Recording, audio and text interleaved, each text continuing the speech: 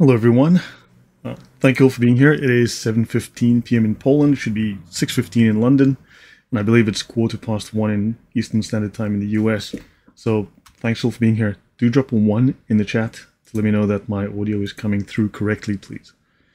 So far, everything looks good. Yeah, so let's see. We have XYZ, thank you very much. We have Sonic, Villainous, welcome Villainous, thank you for being here. Harry Johnson, Yeshua's Yahweh, um, and then Horse, of course. So thank you all. Abdul Masi, yeah, I've seen your message. I've done a little bit of work on um, Julian Huxley, so yeah, I'll add that in. But this is probably going to be three or four parts. It's I doubt it'll just be one, um, because I'm, I'm only just finishing part one, but there's still quite a bit to go. And Facts of Feelings, welcome. And um, yeah, Kyrie eleison. Thanks all. Yeah, so there's going to be quite a bit of work here, but once again, the aim is to show that this is, you'll see there's an anti Christian enterprise operating once more. It's not just about science, it's not about research. No, it's ultimately at root, there is a, a series of links to very toxic anti Christian thought, anti Christian activity. So, yeah, let's hope that I can present facts, present the case, and it's coherent, it's factual, it is supported by evidence. And yeah, also, this is the first time I'm running through this. So, obviously, the aim of a preview is for me to one, present it, two, check the, I want to just see the audience reaction, see the flow, see if I've missed anything, added too much detail, too little detail, and so on. So, the structure, the flow. So, that's the whole point. Michelle, welcome. Good to see you. Thank you. Right, let's uh, let's actually just dive into what I have. So remember, the first time I run through, it's not necessarily the smoothest. I haven't necessarily ordered the slides as I should. That's the point of doing this, but I also want to introduce you to the work that I'm currently doing, uh, amongst other things. Right, let's jump over here. So, for instance, uh, I've mentioned this last maybe one year ago. CBS News, Darwin letter reveals, I do not believe in the Bible. Because there has been a long effort, like along with Hitler, atheists definitely don't want to claim anything that may be embarrassing to the atheist movement, to the atheist ethic or ethos or you know so on. They don't want they want to distance themselves. All of those things, no, no. Suddenly they're not real atheists, or they weren't atheists, or there was something else, right?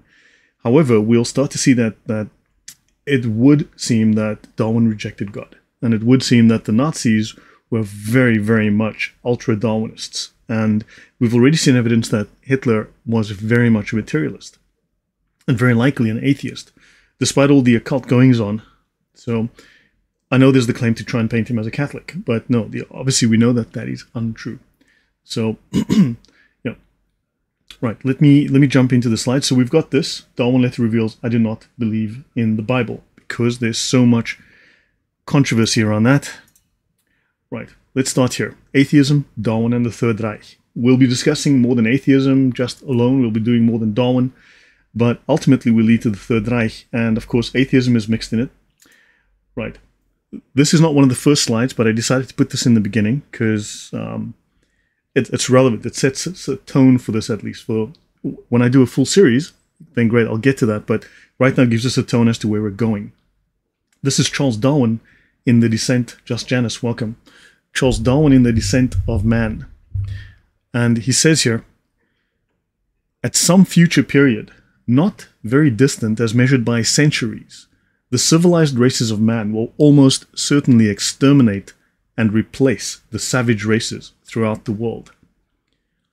So what you have is the civilized races. Now, by what standard civilized? And I think we can have very likely objective standards for that. Is quality bad only for me? Um, Phil Talk, if you want to debate me, I'm an atheist. You're grossly misunderstanding what atheism is, bracketing the fact you don't have good arguments against it. Uh, I've done several series on atheism as a religion historically. Atheism is tied historically when you go to Greece, it is tied to the uh, sophists, it's tied to pagan ideas. Then when you go to the French Revolution and you go to the middle of the 18th century, you're looking at atheism tied to socialism, atheism in the 19th century to Marxism, atheists being integral to the violence, the genocide, that happened in the 20th century. So, yeah. Okay. So, at some future period, not very distant, as measured by centuries, the civilized races of man will almost certainly exterminate. It didn't take centuries, right? 14 years later, the first genocide of the, the first genocide effectively occurred, right? So ideas have consequences, and these ideas, this replacement, shall we say, of morals, led to a great deal of violence based on scientific racism. Right. Have you been through my videos? Have you looked at the content within my videos? Right. Atheism is, is responsible for huge amounts of death. Atheism is responsible, when in power, for hundreds of millions of deaths in the 20th century, more than the previous 1900 years combined. So, atheists, when you look at the atheist thinkers, they were all of them immoral men, horrible people. So, and they all decided in their writings somehow that atheism was a religious movement. Yeah. Okay. So let's have a look at this, right? So this this this tells us that his idea was so in terms of social Darwinism, you've got eighth, sorry, you've got these civilized people who are going to exterminate, who are going to murder, who are going to kill the uncivilized. All right. So this is Charles Darwin. So I'm going to go through a series of pictures. Have a look at these. All right. Have a look at this man's eyes, and I want you to look at his face, and I want you to see what you see in his face because I think this is an incredibly haunted man. So have a look at that face. Does this look like someone who is happy? Have a look at this picture. Does this look like a man who is happy, fulfilled, or a man who has demons, a man who's who's looking at ghosts? This looks like someone who is dead inside. Yeah, it's never real atheism, of course. Have a look at that. This is a man with a thousand yard stare. This is this is again a man who is dead inside. Have a look at this one. Okay. Again, this is a man who is lost somewhere in his own mind. Again, look at look at the the eyes here. Just look at the the, the grief, the sadness. And then this is the last photo before he died. Look at that. I mean, this is this is haunting, right? So a man without a soul. That's Luis Manuel Lopez. Yeah, there's something there's something there in the face. At least that's what this tells me. So Darwinism, devaluing human life. Darwinism and death Devaluing Human Life in Germany, 1859 to 1920. So the discussion about the significance of social Darwinism has special importance, right? Miserable as sin, correct? That's just Janus, yeah. So the discussion about the significance of social Darwinism has special importance because it is background to discussions of Hitler's ideology, the roots of German imperialism, and World War One. Right? Hitler was a social Darwinist. He was a rabid social Darwinist. Yeah. So facts over feelings, the absolute emptiness in his face is astonishing, right? So Hitler was a social Darwinist. He viewed history as a fight for existence amongst unequal races. All Hitler scholars agree on this point, and it is too obvious to deny when one reads Mein Kampf. Um, they didn't look at the photo because some took too long to take. That that is true, but I just think there's this element of emptiness in his eyes, like this this grief, the sadness, this this a dead man, right? inside. Charles looks deeply disturbed. This is what a soul without Christ looks like. Yeah. Um, he was not a happy man, a haunted Darwin. Yeah. Okay, so we need to understand this idea of a fight for existence. Charles Darwin's words that we just quoted earlier talks about this fight, the extermination, right? And Hitler echoes these words, but then we've got people prior and we've got people in between that have the same ideas, and we've got to see what idea, what is the source of this idea, where does it come from? right? And what was Darwin echoing or legitimizing? Because it seems that Darwin legitimized certain ideas that came before him, right? So Darwinism impacted thinking about the value of human life and the significance of human death. The question we should ask is, are there precursors to his thought? Now, prominent German Darwinists urged their society to reevaluate its stance on what today is known as biomedical ethics because they were recommending things like infanticide, euthanasia, suicide, and abortion the killing of babies, right? Were, this is post-birth abortions, right? Leading Darwinists, many who were atheists, right, or by almost by definition atheists, invoked Darwinian science to undermine traditional Judeo Christian ethical values. So, atheists are not Darwinists. So, this is from Oxford Academic, Biology and Ideology, from Descartes to Dawkins. The ideological uses of evolutionary biology in recent atheist apologetics. During the first few years of the 21st century, a number of high profile populist books offering an aggressively atheist critique of religion appeared. This clustering of prominent works of atheist apologetics may be attributed to the fact that developments in biology, especially evolutionary biology, have profound negative implications for belief in God. Richard Dawkins, The God Delusion, and Daniel Dennett, Breaking the Spell, both published in 2006, argue that the Darwinian theory of evolution erodes many traditional metaphysical notions, such as belief in God, through its universal acid. So, yesterday, of course, we had an atheist saying that, well, you know, really, atheists are not Darwinists, and Darwinists are not atheists, and atheists don't appeal to Darwinism. And so we asked, like, so what do you appeal to? And he's like, well, um, blah, blah, blah, and he disappeared, right? So, let's see, having a similar appearance, though. Yeah. Okay.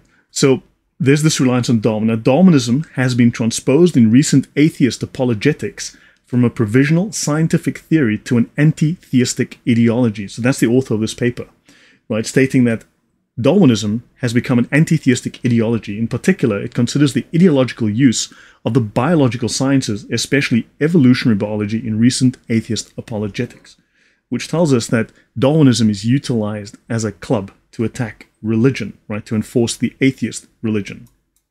Right. So design in nature was replaced by Darwin. Now, prior to Darwin, what you had was William Paley and natural theology. So this is natural theology or evidences of the existence and attitudes or attributes, sorry, of the deity collected by the appearance of nature. Right, let's talk about that. So Darwin writes, I found it more and more difficult with free scope given to my imagination to invent evidence which would suffice to convince me. This means the, the convince me that design, that God designed the universe, because he knew William Paley, right? And this idea was what was current at the time. And then Darwin says, no, sorry, Darwin says, given to my imagination to invent evidence which would suffice to convince me. And thus, disbelief crept over me at a very slow rate, but was at last complete. So disbelief crept over him. In other words, atheism, the lack of belief in God, right, crept over him, and at last it was complete. So it looks like we're starting to solve the mystery of was he a believer, was he blah, what he was an atheist, right?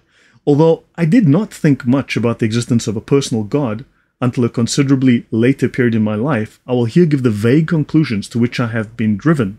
So, what are the conclusions to which he has been driven? He says the old argument from design in nature, as given by Paley, which formerly seemed to me so conclusive, fails now that the law of natural selection has been discovered. So the idea of design, that God designed the world, fails. He rejects that idea now. He says there's a purely natural, materialistic answer to this question. He has answered it. He has replaced God, effectively. That's Charles Darwin, autobiography, right? Now, the argument from design has been used for millennia, but it is most commonly associated with the 19th century English theologian William Paley and his 1802 treatise on natural theology. Right? Let me just get a note that I want to discuss here. For instance, he says every manifestation of design, that design must have had a designer. That designer must have been a person, and that person is God. So that's the quote by Paley. Actually, let me get that for you so I can just show it on the screen. Nope, I can't do that right now. Uh, let me see if I can get a different source for that. So I can just put it on the screen.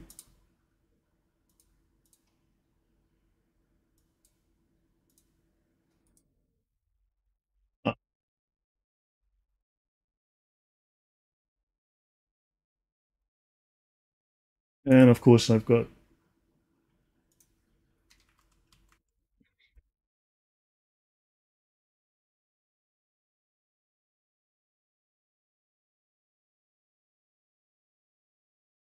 typical. So every manifestation of design is from a designer, and that designer was God. All right, hopefully that's clear. Right, so next time I know, put that quote up in advance. Now, Darwin had a wife called Emma. So disbelief was a motivator. Yes, it would seem to be a motivator, villainous, or adherence to Gnostic humanism. I don't know, but let's let's look as we go. Darwin's wife Emma was a devout Christian. She was upset by Darwin's lack of faith. She wanted to be with him beyond till death us do part. She knew her husband had doubts and worried that his scientific investigation would deepen his doubt, condemning her to an eternity alone, that he would go to hell, basically, that he would not go to heaven, and therefore she would be without him in heaven, because that's what she wanted. And she told him this, according to biographers. Right. Now, April 23, 1851, Annie Darwin, Darwin's daughter, dies. So their beloved oldest daughter, Annie, died just after turning 10. Darwin was so overcome with grief that he could not go to her burial. Okay, tell me, who is that full talk guy? I've never seen him before, so who is that? I mean, I've done work on history. I talk about history. So, I mean, does he have an issue with my history? Right? Can he prove that my history is wrong? The quotes I've made are incorrect from atheists. Darwin was so overcome with grief that he could not go to her burial, biographers wrote. However, then other biographers say that he went to the funeral, and then some say he gave a eulogy at the funeral. However, then you look at some who don't say he gave a eulogy, but he wrote a speech. So I've read the speech, but I don't know whether he delivered it as a eulogy. So so that's an unclear area I still got to work on. But I've actually read the speech that he made. And his death changed things between Charles and Emma, says historian Deborah Heiligman. Darwin became more willing to proclaim his theories and spoke of his religious doubts. Now, it's only in the last few years that thousands of pages of Darwin's writings have been made public, over 9,000 pages in the last few years. So, this information you're looking from 2015 onwards. So, this is a lot of it's new. I feel like the death of Annie was so much the worst thing that could happen to them and they survived it, that it was almost like anything else paled in comparison. So he really, a lack believer, yeah, exactly. So he really got hit hard by his daughter's death, and this seemed to affect his beliefs. They undermine his belief in God. He was probably very angry with God. My sound is off.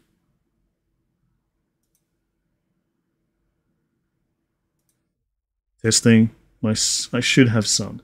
Right. So, eight years later, Darwin publishes On the Origin of Species. Biographer Lyanda Haupt says you can see the influence of Annie's death in the shaping of that book. He knew so deeply and so personally and viscerally what death was now after Annie's loss, Haupt says. And in his writing, you see him affirming over and over the circle, the endless unfolding of life. In the last pages of On the Origin of Species, some say that Darwin confronts the meaning of Annie's demise. He takes his readers to a beautiful forest, rich with trees and birds singing everywhere, and reminds us of the beauty that we see every day in things like butterflies and flowers, and he demonstrates that humans who can contemplate and love these things are all products of millions of years of competition, struggle, famine, and death, and that this struggle will continue. So life will keep evolving new forms and new shapes. Maybe he's trying to rationalize her death. Maybe he thinks he's angry at God that she died unnecessarily. Oh, so thanks, only love. Right. Darwin is stating what we now call the existential dilemma, says Gopnik in his biography. He's saying there are two things that are true. One is that everything dies and things die for no reason and for no apparent end, and their death is painful. So his wife, according to one discussion, had belief so she could rationalize her death as her daughter goes to heaven, right? Because she had she had the church to fall back on, her faith in God, the faith in the resurrection. However, Darwin did not, and therefore he had no way to deal with the grief. Right? Phil Talk is Danny. Okay, Danny Phil Talk. Okay, I don't know who that is, but fine. And their death is painful, and that process of living and dying produces something amazing, beautiful, and astonishing. Now, Darwin writes, There's grandeur in this view of life. From so simple a beginning, endless forms, most beautiful and most wonderful, have been and are being evolved. Okay, and then things get really dark and ugly after that. Darwin's letter reveals, I do not believe in the Bible. So this is a recent publication, roughly 2015, right? Um, so he says here, he gets asked by this guy, Darwin's latest reply to a young barrister named Francis McDermott, who wrote in 1880 with an unusual request Give me a yes or no to the question, Do you believe in the New Testament? And he promises not to publicize Darwin's reply. Darwin says, Dear sir, I am sorry to have to inform you that I do not believe in the Bible. Right? And therefore, I do not believe in Jesus Christ as the Son of God. That would mean he's clearly Catholic, I would say. He doesn't believe in the Bible, right? He doesn't believe the Bible is a divine revelation, and he does not believe in Jesus Christ as the Son of God. That is clearly he's he's probably Mexican Catholic, I'm sure. Okay, possibly Calvinist, but you tell me. And he writes to someone else, Edward Aveling, right? There's a story with Edward, Edward Aveling coming up later. It has been always to my object to avoid writing on religion, and I have confined myself to science. He's a Jesuit. Sorry, thanks, Villains. You explained that now. Maybe a Buddhist. Who knows? So he did not want to discuss religion, and so after the death of his daughter, he took a very negative turn on religion. So it seems he decided to embrace materialism. All right. So Darwinism is integral to atheism. Okay, Darwinism as Darwinism as religion what literature tells us about evolution, and that's by Michael Ruse. Michael Ruse is a very well known scholar and a very well known atheist scholar. Darwinism is a religion and has always been one. So says distinguished atheist philosopher Michael Ruse, whose 2016 book Darwinism as Religion proposes that evolutionary theory is no mere explanation for our planet's biology, but a worldview that exceeds the warrant of science. Uh, thanks, XYZ, for the message. I'll have to look at it after the talk. So, for the past 150 years, Ruse claims evolutionary thinking generally, and Darwinian thinking in particular, has taken on the form and role of a religion. So, it is the creation myth without God. However, Darwin never wrote on the origin of life. He wrote on the origin of species. Basically, wave your hand, blah, blah, blah, mumble a few things, and there's life. And now let's explain what happened after life was made, but we don't have an explanation for how life was made do understand the distinction. He writes Darwinian theory has served as a rival to the Christian worldview since the mid Victorian period. In the way that evolution tries to speak of the nature of humans and their place in the scheme of things, we have a religion, a, re- a secular religious perspective. So it's a secular religion. This is the, these are the words from the writings of Michael Ruse right? Now we go to Oxford Academic and the book The Evolution of Atheism, The Politics of a Modern Movement. Politics of a Modern Movement by Stephen LeDrew. So, in his book, he identifies two major streams of atheist thought that emerged in the 19th century scientific atheism, which he said is grounded in the natural, scientists, science, natural sciences and Darwinism, and humanistic atheism, which arose from social sciences most importantly, Marx. Now, Marx was a humanist. A lot of these, a lot of these Marxists, right, that came after Marx were humanists. However, don't forget, Marx and Engels, Marx and um, Lenin were all scientific communists. They were scientific atheists first, right? So atheists love to call themselves scientific atheists. They practice scientific atheism. That's a Marxist term, right? And also, atheist apologetics is basically verbatim what the communists, what the Soviets, what Marx, Lenin, Engels, and Stalin said themselves, right? Hi, watching from Kenya. I have to say Darwin wasn't so evolved. Yeah, hi, Masa. Nicely said. A Christianese religion of the religion of man. What is the uh, answer the question, villainous. Please, just just do, do not leave us in suspense. Please type the answer because I want to know too. Right. So you've got scientific atheism grounded in Darwinism. So yesterday, this atheist was like, "Well, Darwinism and atheism are not really the same thing, and that doesn't mean blah." Whatever. Okay, it's clear there's a link here. And these two forms of atheism, he says, were attached to distinct political projects that were used for political aims, the destruction of religion for political aims. Hmm, does that sound familiar at all? Right, now, Dawkins, always Richard Dawkins. Hey, Chloe. Richard Dawkins is a vocal atheist with about 15 books, most related to proving Darwin's theory of evolution debunking religious belief in a creator God. And he says, I think a case can be made that faith is one of the world's great evils, comparable to the smallpox virus, but harder to eradicate. Thanks, Richard. From his works, accepting this theory makes you independent from the belief in a creator. And his book, The Blind Watchmaker, says, an atheist before Darwin could have said, following Hume, I have no explanation for complex biological design. All I know is that God isn't a good explanation, so we must wait and hope that somebody comes up with a better one. I can't help feeling that such a position, though logically sound, would have left one feeling pretty unsatisfied, and that although atheism might have been logically tenable before Darwin, Darwin made it possible to be an intellectually fulfilled atheist. So it looks like atheists require this creation myth, you know, of their of their own, and this is what Darwin provided. But Darwin never wrote on the origin of life. Remember, he wrote on the origin of species. I mean, if I go here, if I try and let me just have a look here. The I don't have it open right now, but yeah, he wrote on the origin of species. So he wrote, of course, the book The Descent of Man and the Origin of Species. Okay, don't have those open, but I will have them later. So, in The Selfish Gene, which is about a guy called Gene who was very selfish, he goes on to say that the understanding of evolution is the benchmark of the value of a society. So, the understanding of evolution, the admitting that evolution is true, knowing that it is critically important, is the benchmark of the value of a given society. He says intelligent life on a planet comes of age when it first works out the reason of its own existence. If superior creatures from space ever visit Earth, the first question they will ask in order to assess the level of our civilization is Have they discovered evolution yet? So, evolution is what distinguishes civilized man from those in the Jahiliyyah. You see, have you discovered Islam yet? If not, you're in the Jahiliyyah. So, right. Nothing to do with atheism. atheism. Never. So, in the Theological and Scientific Commentary on Darwin's Origin of Species by these two authors, Ted Peters and Martinez Hewlett, beginning in the late 19th century, a vigorous brand of atheism has used Darwin's model as ammunition in its attack on religious faith. Daniel Dennett believes that Darwin's idea of natural selection is the best idea that anyone has ever had ahead of Newton and Einstein and everyone else. That's on page 21 Darwin's Dangerous Idea Evolution and the Meaning of Life by Daniel Dennett. uh, yes, we have to trust, we have faith in the science, as we have to have trust the scientists because they're the gatekeepers of the sacred truth and knowledge. Yes, correct.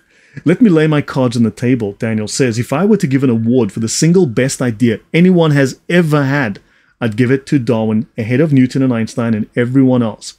In a single stroke, the idea of evolution by natural selection unifies the realm of life, meaning, and purpose with the realm of space and time and cause and effect, mechanism and physical law. Hey, Ben Yosef, welcome. Unique friend, welcome. Darwin is the genesis for the atheist religion. Well, atheism as a religion really started just prior to the French Revolution in that period before the 1750s, right? obviously something atheists are not comfortable with, knowing that the, the founders of atheism saw it as a religion and they, they've evolved cults to express themselves, right?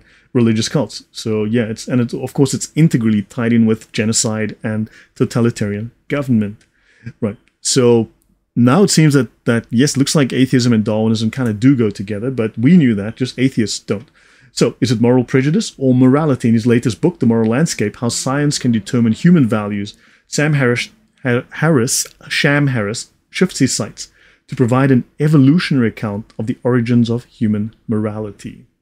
He possesses a sharp wit and an even sharper pen, and his attacks on mainstream religion had a scorched earth intensity. That's in a review from the New York Review of Books, as you can see here, the New York Review of Books discussing. So, an unobserved idea versus testable analysis. The idea wins, yes, because they like it. But a key Darwinian term is not defined. Darwinism supposedly explains how organisms became more fit to the environment, right? Or better adapted to the environment. But fitness is not and cannot be defined except in terms of existence. If you exist, clearly you fit. Nature made you, therefore you fit. If an animal exists, it is fit, otherwise it would not exist it is not possible to specify all of the useful parts and well okay like that fits but the tail doesn't fit. The tail should have been one centimeter shorter but the left leg fits because it's three inches longer and okay understand. The fur is like half a half a mil too short and it's not whatever right? The fact that it exists means it is fit. If an organism possesses features that appear on the surface to be as inconvenient as the peacock's tail or the top heavy antlers of a stag the existence of stags and peacocks proves that these animals are, in fact, fit. Of course, Darwinists, atheists, scientists decided they looked at certain people and said, these people are not fit, they have to die. Nature made them, but these people decided, you know, we're the fit ones, we're killing those guys off. And these are atheists, right? So Darwinian theory is not falsifiable by any observation. Now, let's continue. Dawkins and Singer, Murder is Okay. Richard Dawkins. Now, of course, at some point I'll, I'll circle back to the words of of Mr. Darwin himself, right? We'll be tying all of these together to look at the commonality of thought, right? Richard Dawkins, evolutionary biologist and prominent atheist, has been a vocal critic of Christianity, as we know, and has used Darwinian science to argue against traditional Christian ethics. In The Selfish Gene, he asserts that morality is a result of natural selection and that religious moral codes are necessary. Hold on, nice just copying Sam Harris, right? And this is also the implications, because we will have to be looking at what are the implications, hey Thunderers, of Darwin's thought and idea. Ideas of consequences. So Peter Singer, philosopher and bioethicist, has used Darwinian ideas to challenge Christian ethics. Singer thinks that voluntary euthanasia is morally justified. Disabled non persons may be killed. Now, this is not a discussion on Martin Luther. Uh, I actually don't want to go into any. I, I don't want to go into any length, but I, I, will be adding at least one slide on Martin Luther here. Okay, which you guys are. Uh, let me just go there quickly. Right, as you know, Martin Luther recommended that the disabled child be suffocated to death because Martin Luther stated that, yeah, this disabled child is not a real human, therefore that disabled child can be killed. Right? So Martin Luther made it basically acceptable in his writings to, to kill the mentally handicapped, to kill the disabled, a vegetal. So, yeah, so Luther had himself seen and touched the boy, and advised the Prince of Anhalt to have the boy drowned. He also advised to have the boy suffocated to death. And of course, the Nazis utilized this as justification for them applying Darwin's ideas and killing uh, what a quarter million people who they considered unfit. Right. Besides the fact that they used their war machine and ultimately like 36 million people died because the Nazis launched World War II, which because they considered themselves the fittest and everyone else unfit. But yeah. so he's just recommending murdering people. It's acceptable, it's okay, they have no soul, they're non persons. Now, don't forget, no newborn should be considered a person for 30 days, and the attending physician should kill some disabled babies on the spot. So, for 30 days after birth, you can legally, according to him, kill a baby because it's a non person. Thank you, Mr. Peter Singer. This is atheist morality. This is the logical extension of social Darwinism. In Roman society, the paterfamilias, so the family head, had absolute control over the baby's life and could leave a baby to die with no legal consequences. Yes, full term abortion thunderers. Romans didn't kill unwanted newborns directly, they abandoned them on the street or threw them in the garbage. The practice of abandoning unwanted infants was called exposure since the baby died from exposure to the elements. Now, understand, in Rome in that time, you could kill a child until the age of two because they considered that until the age of two, it was not a human. So the father could decide to murder his child until the age of two. Christians would rescue these children. Christians would go and find these children and save their lives. Atheists, right? The same Romans that the atheists appealed to were the same pagan Greek and Roman thinking that the atheists appealed to were the murderers in this case. This is atheism bringing this back atheists bringing this back. Understand? So hopefully Philtalk can understand that atheism is is filth. It is murder.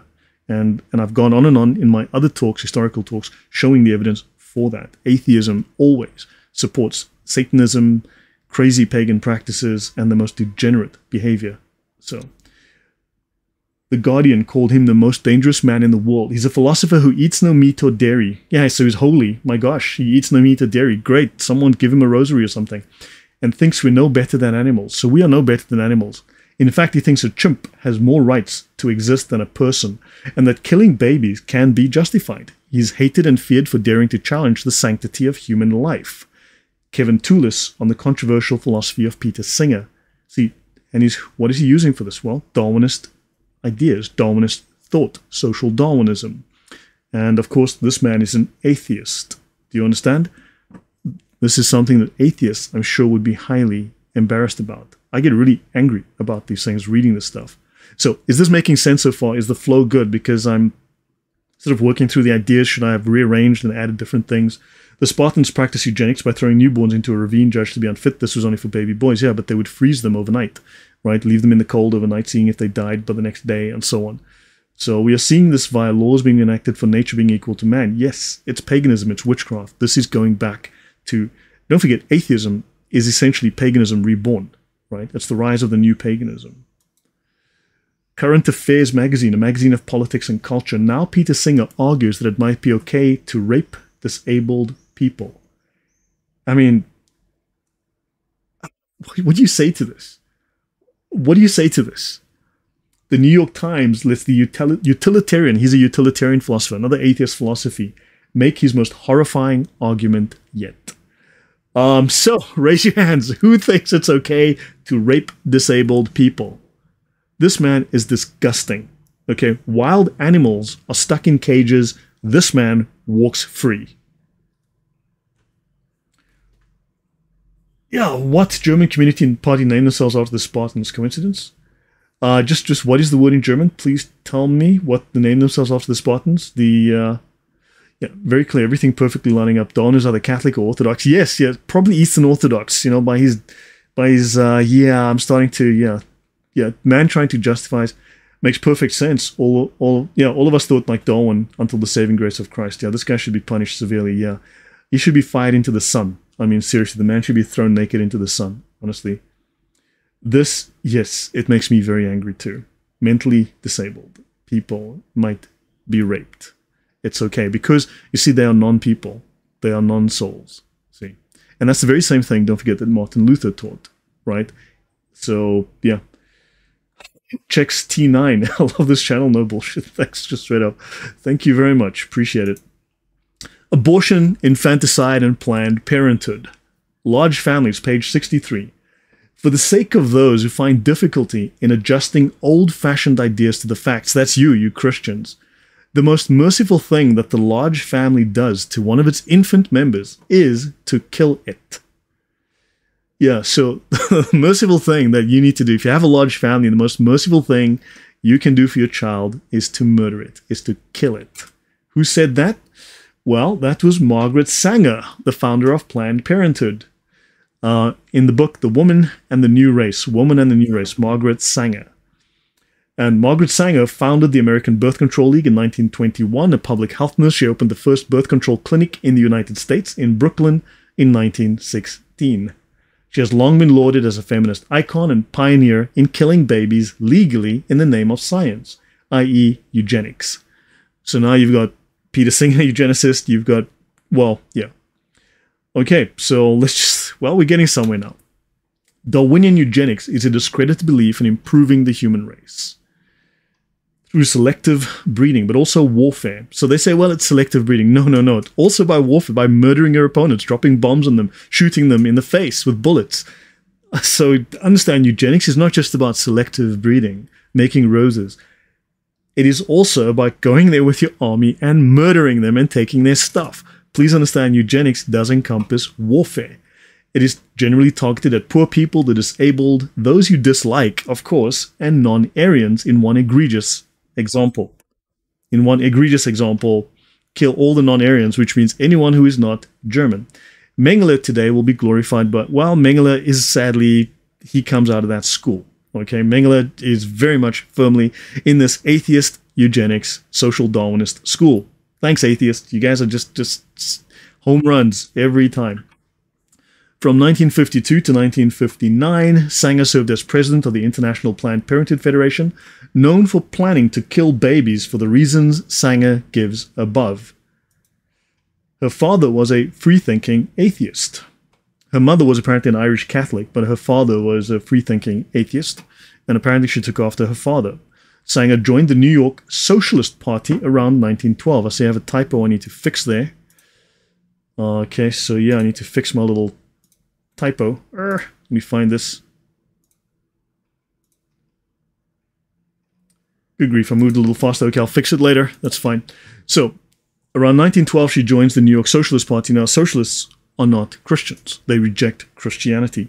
In fact, socialists are by definition atheists. Marx, Lenin, Stalin, and Mao were also socialists. She kept great company. Okay, so she was in the same company as Marx, Lenin, Stalin, and Mao. And of course, the, the I believe the Church of England buried her in a cemetery with a wonderful ceremony, whatever, as a Christian when she was a socialist. Insane. Sanger published eight issues of the feminist magazine, The Woman Rebel, which was emblazoned with the motto, No gods, no masters. That sounds very, see, if it's not Buddhist, it's Lutheran. If it's not Lutheran, it's Calvinist. No gods, no masters. Definitely sounds, can't be atheist, right, guys? No gods? Mm, I don't know. Let me know brimming with articles about sex education, abortion, and the array of injustices that capitalism inflicted upon women. Frickin' socialist atheist. Okay? I think that's pretty obvious. Yeah. So let's look at the French Revolution. Let's go a little bit further back in history. Let's look at two major figures. You had the Freemason, Jean Paul Marat, who wanted heads to roll. He was a journalist. He called for death, right? For those enemies of the empire, enemies of the state needed to die. Those who wouldn't convert to the religion of the atheist religion of the French cult, well, they had to die. From September 1793 to July 1794, at least around 2,000 people a month were publicly beheaded in Paris. Riyadh does the same. Many for unwillingness to support the atheist jihad. An anti Christian eulogy was given by the atheist Marquis de Sade, right? And of course, the, the atheist Marquis de Sade gives us the word sadism and the word sadist, right? And of course, Marquis de Sade compared Marat to Jesus Christ. And he said here, a heart of Jesus, a heart of Marat, their Jesus, the Christian Jesus, was but a false prophet, but Marat is a god. Long live the heart of Marat. Like Jesus, Marat detested nobles, priests, the rich, and scoundrels. So, like Jesus, he led a poor and frugal life. That's from the uh, historian Schama, right? Okay, so now we got Mar- Mar- the Marquis de Sade, an atheist, talking about another atheist, and of course being very anti-Christian, just like atheists are today. But let's go on. The Marquis de Sade, an induced abortion. This is from an article in the National Library of Medicine, they're speaking of Marquis de Sade here. In 1795, the Marquis de Sade published his La Philosophique dans les boudoirs, the philosophy of the bedroom, or the politics of the bedroom, in which he proposed the use of induced abortion for social reasons and as a means of population control. So, again, you've got atheists constantly saying religion is about control. Well, atheism is about murdering people. Okay? It is about killing people in the name of population control as policy. It is from this time that medical and social acceptance of abortion can be dated. Previously, the subject had not been discussed in public in modern times. It was largely due to de Sade's writing that induced abortion received the impetus which resulted in its subsequent spread in Western society. Abortion, murder of babies, and now post birth abortion, thank atheists, because atheists it's a sick satanic religion. Uh, says it is offensive to say Darwin is Catholic because he doesn't believe in the Bible or that Jesus is the Son of God. Catholics believe the Bible is divine revelation. Yeah, look, um, deal with the sarcasm. I tend to I tend to speak using irony and tons of sarcasm. Okay, it's that, or I'm going to be swearing at the screen constantly because this stuff upsets me. You have no idea. Reading this eight hours a day drives me nuts. Okay. So yeah. In 1795, he published La philosophie dans le, dans le de, whatever, philosophy of the bedroom. Okay? Politics of the bedroom. It is considered his masterpiece, right? His masterwork. De Sade held all life cheaply, and he spent most of his life attacking God and the Christian church. His book attacks established religion, morality, family ties, and social structures. He advocates sodomy, incest, lust, and cruelty for its own sake. He scorned the view that man is that man is not responsible for his own existence and that God grants an embryo its soul. You see, you're a non person. So these ideas come out of crazy people like this. Modern scientists are pushing these ideas, claiming it is scientific. The realistic view, according to de Sade, was that since murder is such a trivial matter, murder is a trivial matter. Destruction of an infant which has not achieved the age of reason is of small consequence evolution. Yes, evolution. Um, yeah, so so this is yeah, I think that is correct. We're dealing with evolution. Yeah, most certainly. So yeah, let's talk a bit more about Marquis de Sade. So the atheist Marquis de Sade published his La Philosophie, La Philosophie dans les boudoirs, whatever. I just butchered the, the French, in which he proposed the use of induced abortion for social reasons, for population control, right? We've discussed that. He attacks established religion, and he says that destruction of the infant which has not achieved the age of reason is small consequence. So life doesn't matter. These are sick, sick people. So now the cynic de Sade wanted to watch the world burn. An anti-Christian eulogy was given by the atheist Marquis de Sade, source of the word sadism, at the funeral of Jean-Paul Marat, comparing Marat to Jesus Christ. Great, we've spoken about that. But de Sade brought his own feelings and a value system that justified them into the light. His masterpiece is philosophy in the bedroom.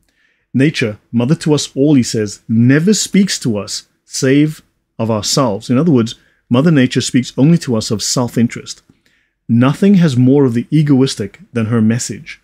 And what we recognize most clearly therein is the immutable and sacred counsel prefer thyself, love thyself, no matter at whose expense. So that would be psychopathic and ultimately utterly narcissistic. But the others say, but the others, they say to you, may avenge themselves. So, for instance, if you screw someone else over at their expense, they may want revenge. Pure idolatry, yes, worship of the self, right? But he says here, let them, let them avenge themselves. The mightier one will vanquish. He will be right. So, in other words, fight them, attack them. The one who wins is the one who is right because the mighty will win. Very well, there it is, the primitive state of perpetual strife and destruction for which nature's hand created us. Do you understand the alignment with Darwin? Darwin legitimized this evil, disgusting point of view. Darwin took de Sade's sick, twisted, psychopathic ideas and made it scientific. He justified this as natural. So he removed morality from the world. He removed God from the world. This is Darwin's work. And so he says, this is it, the primitive state of perpetual strife and destruction for which nature created us, and within which alone it is of it is of and within which alone it is of advantage to her that we remain. So in other words, nature wants us fighting. Nature wants us in conflict. They want us to have this battle of the weak versus the strong, the strong destroying the weak, the strong overriding the weak. And this is development because the better will win and therefore you get progress. Sounds just out of LaVey's Satanic Bible. So now, okay, have I made a, a link? Is there, do you see so far a link between what the message of Darwin, the message of the atheist, and the message of Marquis de Sade? Is this logical? Do you start to see now that Darwin simply legitimized evil by calling it scientific. Is that is that a valid a valid statement for me to make based on what I've presented so far? Um, SP Jones says, guess this was his inspiration. Yeah. Okay, Kush says yes. Um, you just trying to catch up with the comments. Yes, and the same elements can be found in Islam. Yes. Yeah, all these ideologies coming all together to atheism. Yes, Yeah. um, yeah, I'm still curious who that who that guy was, but let me go and find out. I'm actually see what Dean sent me. Phil talk.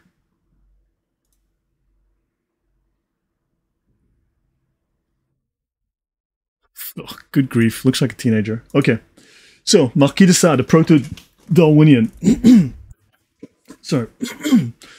Charles Darwin, like de Sade, asserted that nature is a constant battle where the strong have the right to eliminate the weak.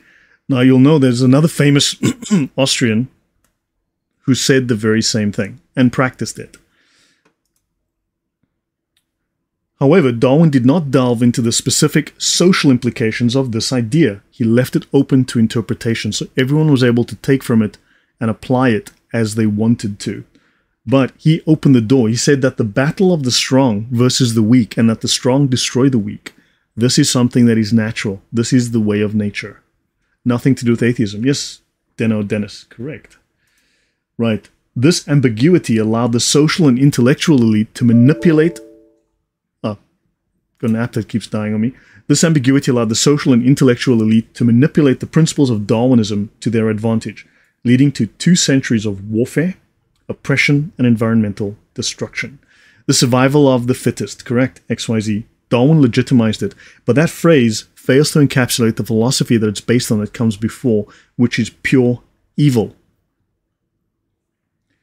I laughed out loud about a certain famous painter. Yes, yes, yes, yes. If someone had just bought his frickin' paintings, you know, Darwin gave the fundamentals to natural selection and all that. So Stalin modified it a bit and applied it too. He said killing.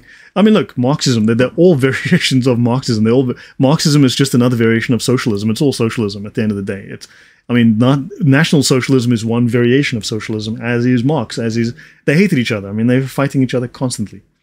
Yes, the elite take this ideology as their own to justify their indifference to the hoi polloi, the rabble, correct, right? Because they are the betters. Darwin ultimately paved the way for the deaths of millions. Many continue to adhere to de Sade's proto Darwinian perspective of nature. This is a proto Darwinian perspective, perceiving it as inherently amoral, cynical, and self centered battle for survival. Uh, yes, Lab Girl, I know about Marxism. I will be doing a talk on Marxist Satanism in the future. In fact, this is a this is a series I'm doing on Darwin and Hitler, Darwin to Hitler.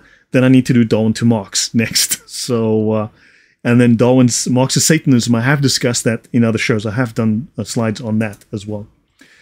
Then, surprisingly, this guy pops up. Looks familiar on the Marxist International Archive on Marxist.org. That pops up. Okay, fascinating. What do they tell us? On Marxist.org, they have an article on the Marquis de Sade by Paul Eluard. It was in that asylum that on December 2, 1814, in full possession of his reason, they're saying he wasn't crazy, he wasn't nuts. The Marquis de Sade was perfectly lucid. This precursor of Proudhon, of Proudhon, Fourier, and Darwin, Malthus, Spencer, and all of modern psychiatry, this apostle of the most absolute freedom, the most absolute freedom, this man who wanted all men to return to the source of their instincts, return to nature. Do you understand? The return to nature means the right to rape people, the right to rob people, the right to invade, the right to kill. Absolute freedom with no restraints. Lenin actually spoke about that. I've spoken about in my atheism series about Lenin.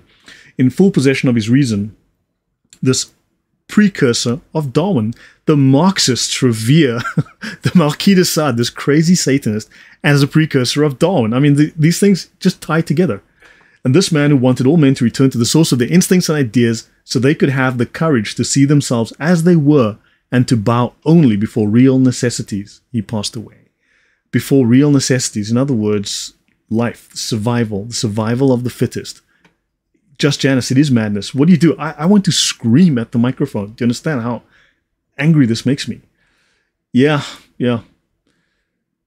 You have to do something on Malthus too. Man, there's only so much I can do in a given day, right? On a given month or year even. It's it's you have no idea how much work this is. To, to dig up these these little connections. This is hours of digging, believe me. It doesn't just it's not like you say, AI write me a presentation. It doesn't work Look at the man's eyes. This is another photo of him I didn't include previously. Look at the man's eyes. Yeah, the ANC is just all for themselves. So Darwin writes, man is the highest good. The highest of creation is man. This is what Marx said. Understand? This is what Hitler said.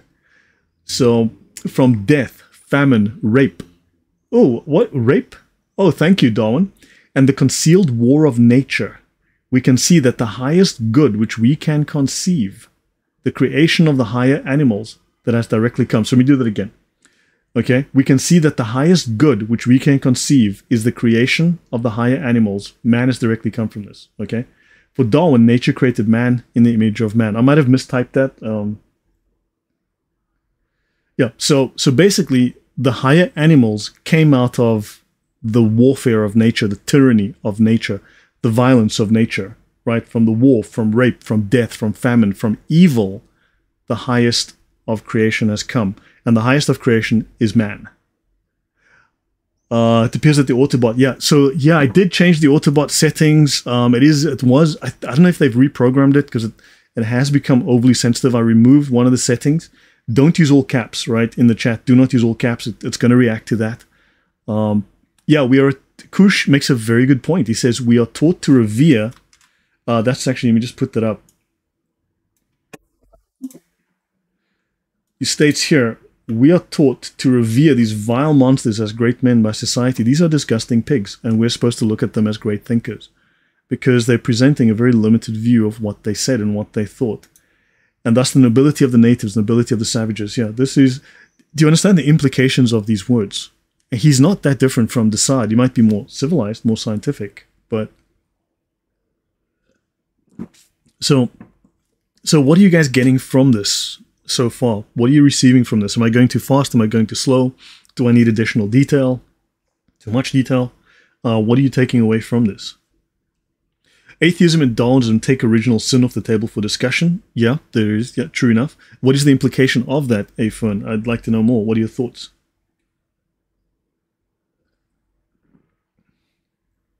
Um, cheers. John McDermott says very edifying. Yeah, Just Janice says she's shouting here. So Stalin instituted the Soviet Union teachings of evolution in the curriculum as part of the communist campaign to eradicate religion.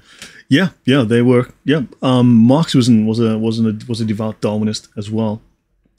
Facts of a Feeling says it's mind-boggling they teach at schools that these people are geniuses in modern society. Yeah, atheism has big problems when it comes to origins. Incredible presentation as always. Thank you, XYZ. Right, so let's go and talk a little further about abortion. Now, there's a thing called the Lilith Fund. You can look them up online. The Lilith, actually, well, let me just go there. What the heck? Um, let me see. Did it come up? No, it didn't. Uh, I'm gonna. Oh, let me just bring this up. For instance, the Lilith Fund. Uh, what does the Lilith Fund give us? It gives us money for abortion. Okay, the Lilith Fund provides blah blah blah, kill your babies. Okay, so who is Lilith? Let's have a look. Who is Lilith? Lilith is a female figure in Mesopotamian and Judaic mythology. She is the first wife of Adam, the primordial she demon, incarnation of lust, and a child killing witch. And of course, today she's a feminist icon. Atheism for the win.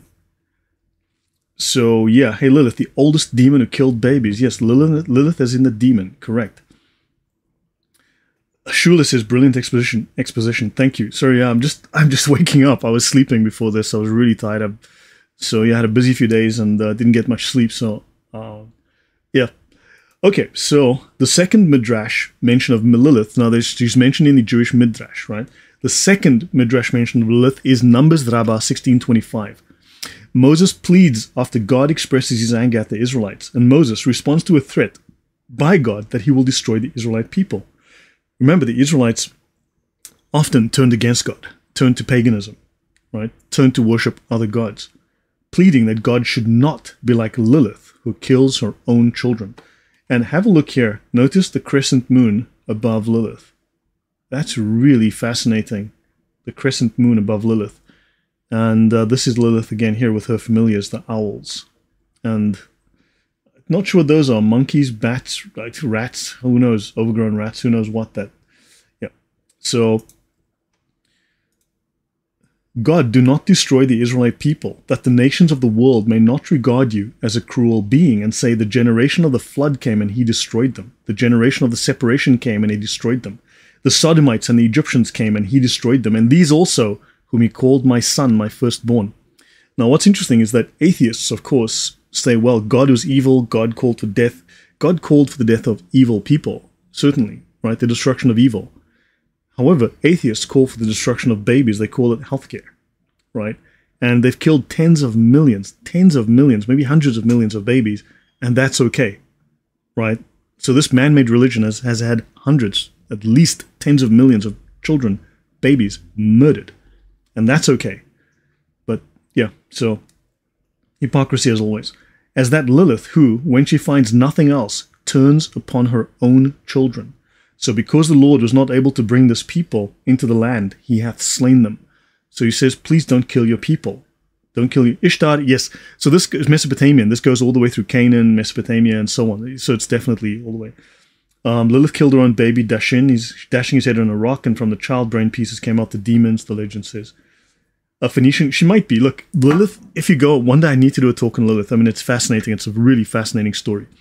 So it looks like, like for instance, many cultures th- through different geographies of that region and different times over a very long period of time have a particular deity or particular entity, right, that is described in this fashion. It would seem that this is not a different deity, a separate one each time. It's the same one expressed in the character and the language of that culture. So it looks like when you go through like a, a, a 2,000 year stretch from BC and you go from this place to this place to this place, it's all Lilith at different times at different places described in the culture and the characteristics of that particular civilization. So she has a thread that runs through history. Lilith and Baphomet take the blood of babies, which means abortion, in the study of demonology. Stewards Impact Church. Thank you for that. Yeah, there's a great deal going on here. There's a great deal going on. Saul Alinsky's Rouges, all about how you frame your position. Yeah, that's just how to use propaganda, right? Um, let me see. Crescent Moon, you say. Where have I seen that before? Yeshua. I don't know. This Crescent Moon. Anyone knows of any sort of Crescent Moon thing going on here? I, I don't know. Don't know. Never heard of it. So, a different Genesis. No Imago Dei. Ernst Haeckel. Now, there's a lot more I have to do on Haeckel. I have not finished the slides. This is very raw overview right now. Ernst Haeckel is the most famous German Darwinist of the late 19th and early 20th centuries. He believed that the most important aspect of Darwinism was the animal ancestry of humans, just like Peter Springer, whatever, what his name was. Was that guy? Whatever, the, the atheist earlier who thinks you can kill babies, it's just fine. The animal ancestry of humans, which would bring forth a complete revolution in the entire world of humanity. Interesting. Right, now we have a look at another dude. Hermann Joseph Schaaffhausen presented a paper at the meeting of the Versammlung Deutscher Naturforscher und Ärzte. This is the meeting of the German natural scientists and doctors in 1867 titled On the Anthropological Questions of Our Time. He argued that humans had developed from animal ancestors. Notice this is slightly prior to Darwin. He also believed that humans are the pinnacle of creation and that a divine plan directed the emergence of humans. Okay, so there's a divine plan, but humans are the pinnacle of creation. So humans are the great gods, right? Uh, let me see. Lilith also squeezed prophets in a cave. Sound familiar? Yeah. So yeah, maybe my memory is bad, but the crescent on top of crescent on top of Orthodox and Catholic churches. You're right. Catholic mosques. Catholic mosques. I could be wrong. I, I'm something's. Um, Eva Ever says the demon wanders through the whole world and switches the shapes depending on where and with who. Yes. Buddhist Islamists strike again. They. Yes, the Buddhist Islamists strike again. So look, these ideas, all I'm indicating is, and there's a lot to be said about Ernst Haeckel because Ernst Haeckel was a fraud, right? There's a great deal to be said, and he also supported genocide. We'll talk about that in the future. Oh, bad memory, we are getting old. Yes. But there's a lot to be said about Ernst Haeckel. I'm not going to do that here and now. So, like Darwin, he argued that the biological and intellectual differences that separate humans from other animals are quantitative, not qualitative. You've got more XYZ chromosomes, right? You've got more genes, I don't know. You've got less of this, more of that, right? As opposed to qualitative, not a God given difference of soul, right? Not a God given change in intellect of some type, right? But you're not made in the image of God. You are just a more advanced animal. You just have slightly better code, slightly better genetics and he noted the simian, monkey, or ape like traits observed in the anatomy of both prehistoric peoples and what he called the existing lower races. So in the 1860s, you had lower races, in other words, inferior humans. And you know what you do with inferior humans? You kill them, according to Darwin.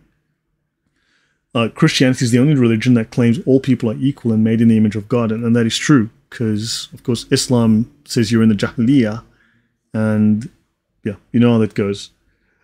Lloyd de Jongh, please leave my chromosomes alone from XYZ. I will not touch your chromosomes, I promise. Um, Bo Rudder says some orient uh, OE crosses. Um, he retracted that. Okay, fine. This is unrelated, Lloyd. I'm inviting you to the traditional Catholic Mass. I've been to the traditional Catholic Mass. I've um, there's actually an interesting um, is it Augustinian? I don't know. I can't remember. It's they they once I think once a month, maybe once a week, whatever, on a Sunday, they have a um, a very interesting Latin mass. It's a very it's a particular Dominican Dominican friars. So I've been there. It's it's actually quite amazing to go to the Latin mass and actually see what it's like. I live in Poland. Okay, there's not exactly Baptist churches on any corner. Okay, so when I go to church, I go to the Catholic church. They all speak Polish. They may as well be speaking Klingon, right? But I, that's where I go because yeah. So yeah, Okay, it's not like you can just march down the street off to the Baptist church, right? There's not a lot of that going on here, believe me. So yeah, let's let's talk a bit more. So they've destroyed the Imago Dei, but these ideas are very much in line with Darwin. So Ernst Haeckel and scientific fraud. Now this is very brief treatment. This is not a full treatment. Okay, Haeckel wanted to convince readers that all vertebrates share a common ancestor. So he wanted to tie all life into Darwinism, and so to do so, he lied about it how fudged embryo illustrations led to drawn out lies. Yeah, so I'm awake now. At least my brain is mostly awake. I just I'd woken up like 10 minutes before to make coffee to uh, to do this talk. So in New Scientist, how fudged embryo illustrations led to lies by Matthew Cobb, 14 January, January 2015. Haeckel's embryos, images, evolution, and fraud. So yeah, the best way to prove evolution is to lie about it, apparently. As Haeckel put it, ontogeny recapitulates phylogeny, right? In other words, if you can't beat them with facts, baffle them with, yeah. So he claims that our embryonic development repeats our evolutionary past. So embryonic development repeats evolutionary past. And he made these fake ass drawings that we go from the stage of whale to tadpole to Mercedes Benz to 1967 Beetle to Chevrolet Corvette. Then we go to tomato, carrot. Then we turn from Coke can. Then it goes to bottle of orange juice. Then it goes from here to cow, moose, salamander, lizard, snake, ET, the extra testicle, and then goes from um, little swamp rat, monkey to human. That that was his idea complete crap. But look, when you're doing science, don't let the facts get in the way, right? Sounds like the science of child development in the Quran. exactly, horse. It sounds exactly. Uh, look up Klingon, our father prayer. It's awesome. Yeah. So, um, East Europeans are 98% Christian, Orthodox, or Catholic. Islam and Protestants are, yeah, included in the other category. Yeah. So that's true. Vegetal, which country are you in? So Haeckel's excuse was I lied, but others lied too. so, by the end of the 19th century, Darwin's theory was increasingly popular amongst Germany, Germany's intellectual elite. Yeah, I need to do more on Haeckel, okay?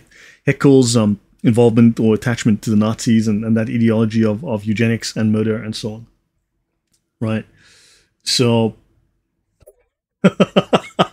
as Christian Prince always says, I like bananas, thus I must have come from monkeys. yes. Right.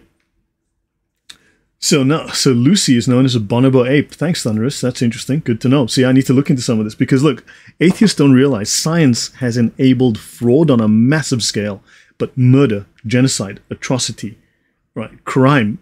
Science is so implicated in crime, it's insane. By the end of the 19th century, Darwin's theory was very, very popular amongst Germany's intellectual elite. Darwin claimed that humans and other mammals were the product of natural selection, a blind struggle right? So this was a blind struggle um, for existence where the fittest survived and reproduced. And then they state, and they got this out of scientific textbooks, okay? The less fit died or were killed off. This actually ended up in science textbooks. We, you know, that the less fit will be will die or we will kill them all. and they had to change all that, okay? So yeah, that's pretty much how that is.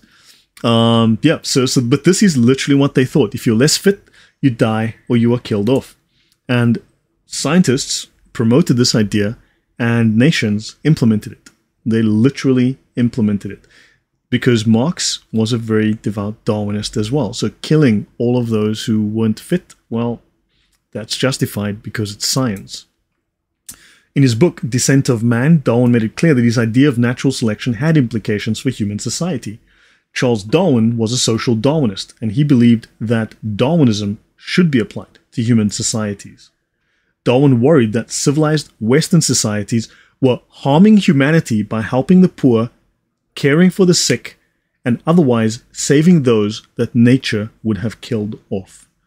You understand, Darwin's a great man who said that Western societies are harming humanity by allowing us to have these unfit among us, the black tribes of the world the unfit black tribes of the world, the the gypsies, the Slavs, as the Nazis eventually took this to its logical extension, but also the those who are disabled. Okay? So by helping these poor, by caring for the sick, a Christian command, I believe it is, Christian moral command, and saving those that nature would have killed off, we are harming the world. And therefore, Christianity is doing harm to the world. And what must happen? Christianity has to go because science needs to kill you for the sake of progress. Being atheists, do you understand what atheism leads to and what it's based on here? So, death, of course, brings life. right? So, by his paradigm, extermination of those considered inferior was natural. So, Thunderous says this. Um, So here's the thing: I still need to go and verify some of this. I haven't had a chance to go and look up every single quote, every single reference. I have done most of it, I believe, but so Darwin also notes the poor breed in greater numbers and did not want to be overrun by those considered feeble-minded. Yes, there's, there's definitely an issue there. Yeah. So, so guys, I mean, is this dull, uninteresting? Is this just science, or is this actually showing you from a from a historical point of view how this is anti-Christian, why you must have Christianity, why you need to know this, so that and how all of this stuff is not science. This is evil dressed up as science. This is anti-Christian, anti-biblical, anti-God propaganda and a movement designed to destroy what is good, right? Evil in, in action. And this is why you need to know this so that you can understand what Christianity is, why it is so different from everything else, and why it is important that you start to to what's the word? You, you need to organize. You need to start to act against this. You, you can't just be passive anymore. It is we are late in the game. Understand this assault has been running for centuries. You need to understand that your enemy has no moral leg to stand on. These atheists are genocidal psychopaths, and this needs to be pointed out to them. So all of their claims about the church are 99.9% absolute falsehood. Hopefully, I have taught you that. And I'm showing you that these emperors have no clothes. In fact, they are evil, disgusting pigs. Right? Atheism is steeped in evil, in genocide, in immorality, in filth. It needs to be pointed out. This is what atheism hides. And this is, you as Christians, you need to fight against this. Uh, do I make myself clear? I mean, do I have a point here? Do you see now why you need to fight against this. There is no good faith discussion with evil. There is no tolerance of evil like this. This is evil. So, by his paradigm, mm, sorry. So, extermination of those considered inferior was natural. Apparently, Darwin was ambivalent about some of the social implications of his theory. Well, okay, I'll delete that line because whatever. Darwin's ideas supplied a new generation of German political leaders, social thinkers, and scientists with what they saw as a biological justification for world domination. Literally did. So, in the late 19th and early 20th century, many of them were promoting racism, what they called scientific racism, right? Racial extermination or extinction and gaining Lebensraum.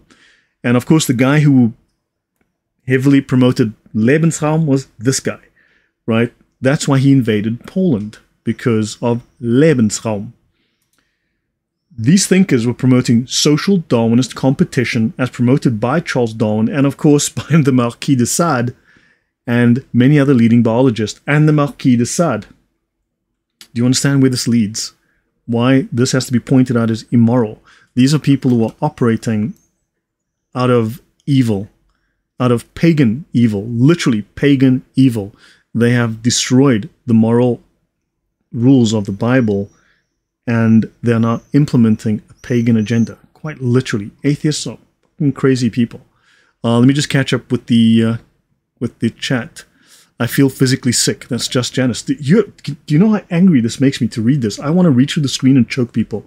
It, it is this is disgusting. Civilized humans promoting murder as scientific, and then of course they want to tell you, well, you know, we're using science. Yeah, but you're hiding the scum underneath. That is Auf Deutsch sagen die Leute, das ist Kack mit Soße. Okay? So, in English, that would translate as that is poop with sauce. So it's a pile of poop with sauce on it. So yeah, they're showing you the sauce. They're just hiding the poop. It's 99% poop. Ignore the sauce. All right. So, murder is life, promiscuity is love, unique friend. Yes, that is really, yeah, sadly, Darwin also notes the poor breeds. Let me see. Goodness gracious, how this turned Christianity upside down seems like straight from the mind of Satan. Yes, it is an inversion of Christianity. It's an inversion of Christian morality. So yeah, um, for just 30 years ago, we had serious discussions regarding the immorality of using aborted fetus stem cells. Look where we are now. So Pedro Jr. says, what makes it more angry is that the school system hails and promotes this man. I feel sick. Yes, of course, they don't tell you this part, okay? This is just me doing a few days of work on this now, because I've had this for a year or something. I just haven't had time to get to it. So yeah, I need to I should finish soon. This is a preview. So um, does this flow well? I mean, in terms of like in terms of the following it, is it logical? The way that I'm skipping from topic to topic and then connecting together, is it flowing well? Is it logical? Um, because yeah, I'm, I'm I'm probably going to go back and make some changes to the slides. And um, I've got 50 slides so far. It's probably going to be like 200 at the end of the day. But um, this would be like part one of this to introduce Darwinism. Then, you know, as we and tying all of these different ideas together into Nazism, and we're going to show exactly how Hitler was just pushing this 100%. Hitler was the ultimate Darwinist. Very bluntly, Hitler was the ultimate Darwinist. And then we'll go part two, um, where we really go deep into Hitler himself, how World War II really genuinely originated out of Darwin's ideas, and um, then I'll do Smox as well. Yeshua's Yahweh, take it back to the drawing board, mate. Yeah. So, I mean, does this rewrite the history? Um, does would you say then, then that that means that this rewrites the history of Darwin? This rewrites how science has misled you by failing to provide you with the critical detail. Michelle says, very good workload. Thank you very much, Michelle. It's a really good flow, Pedro Jr. Uh, this is, as per usual, a very good presentation. Thank you, Thunderous. Um, Eva Eva says, as we say in Poland, uh, govno zawnięte w sreberko. Um, nie rozumiem. Um, so, yeah, what does that say in Polish um, when I have to translate? Can you please translate that, ever for me? Um, otherwise, I'm just to have to go to my... Now I'm curious what the heck that means. Now you guys are to get my secret that I use for uh, translating Polish. Just kidding on point as always. It flows well for me. It's horse. Um, wrapped in silver. Ah! Okay, it's Roberto. Okay, I thought it was silver. Yeah, that's what I thought it was. It said, can't take Hitler now. Just kidding on point as always. Cannot wait to... Uh, uh, the si- take it back to the drawing board. Yeah, sorry, Yeshua. Now I understand what you mean. Um, oh, good grief, yeah. Okay, yes. So it means poo wrapped up in silver. right, yeah. Okay, so let me go a little, just a moment longer. Lebensraum.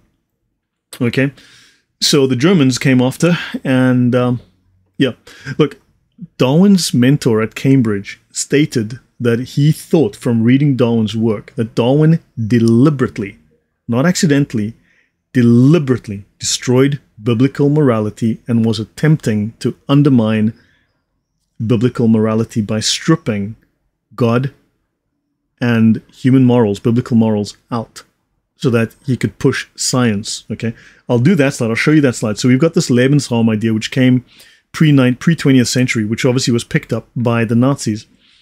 So it says here, um, wachsende Volkszahl, so growing numbers of people, growing population, Volkszahl, im fargen Nordland zwang neuen Lebensraum zu suchen. Okay, so growing population, growing numbers of people in Nordland is forcing new Lebensraum, living space, to find or to search. Okay, is forcing us to search for new living space.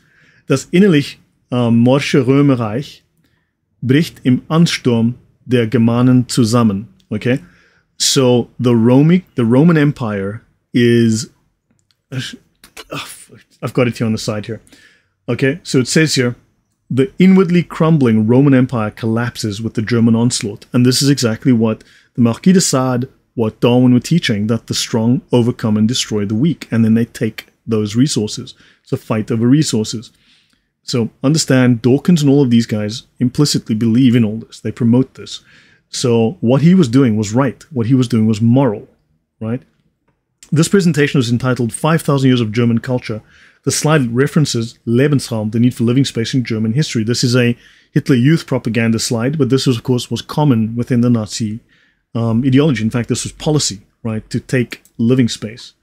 So notice the war of annihilation is a natural law without which the organic world could not continue to exist at all. You must annihilate. This is natural, or the world would not continue. Just as in nature, the struggle for existence is in the moving principle of evolution and perfection. So, also in world history, the destruction of the weaker nations through the stronger is a postulate of progress. So, yeah, to progress, kill your neighbor, okay? Murder thy neighbor. According to Darwin's theory, wars have always been of the greatest importance for the general progress of the human species. So, progressives are Darwinists. What they're not telling you is that they believe in violence. The physically weaker, the less intelligent, the morally lower must give place to the stronger. German biologist, Heinrich Ziegler in 1893. Darwin spawned Darwin spawned a psychopathic science. So, yeah, I'll go. I'll just mention one. Um, um, um, I'll just mention one thing here. The first genocide. So, yeah, um, um, um, uh, there's one that I want to do. Okay, this is the final slide, guys. I'll end it here. Right, much initial resistance to Darwinism sprang from a perceived moral threat. So at the time, people looked at this and saw this was a threat on morality. Adam Sedgwick, Darwin's former mentor in the natural science in the university, at the University of Cambridge, he's an English geologist and he first applied the name Cambrian to the geologic period of time. And he's one of the founders of modern geology. Said in a letter to Darwin in 1859, passages in your book, The Origin of Species, greatly shocked my moral taste. Darwin knew what he was doing. He was undermining Christian morality. His book was the creation legend, the creation myth, shall we say, for atheists, minus God. There's a moral and metaphysical part of nature as well as a physical.